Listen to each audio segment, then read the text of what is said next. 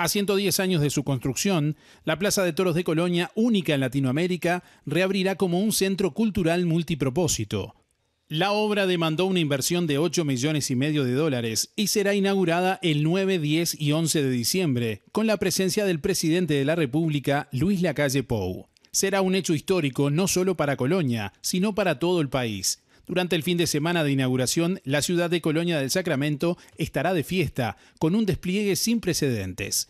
Cerca de 1.300 artistas colonienses, en su mayoría, serán protagonistas en distintos espectáculos que se desplegarán en toda la ciudad. Al mismo tiempo se prevé un gran espectáculo denominado Las Arenas Despiertan, que marcará el inicio de la nueva era de la Plaza de Toros de Colonia. El ministro interino de Turismo, Remo Monseglio, anunció que se realizará el lanzamiento de la temporada de verano 2022 en Colonia. Estuve desde el primer momento acá trabajando junto a la Asociación Turística Departamental de Colonia, que desde el primer día cuando se desató el problema de la pandemia, convocaron a todos los actores y operadores turísticos del país a empezar a trabajar.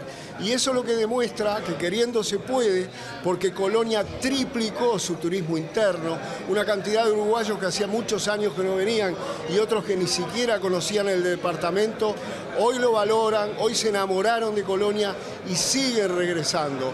Por eso estas actividades realmente creo que le hacen bien al turismo todo y como tal el ministerio no podía estar ausente en esta oportunidad. Monseglio anunció además que la conferencia mundial de la UNESCO que se desarrollará en Punta del Este culminará el 5 de mayo con un gran espectáculo en Colonia del Sacramento. Nosotros tenemos previsto para terminar el 5 de mayo en Colonia la conferencia mundial de la UNESCO que se va a realizar en Punta del Este los días 2, 3 y 4 y que culmina con una gran obra, con una gran actuación, con un gran evento aquí en este departamento realmente tan hermoso y que se ha preparado tanto.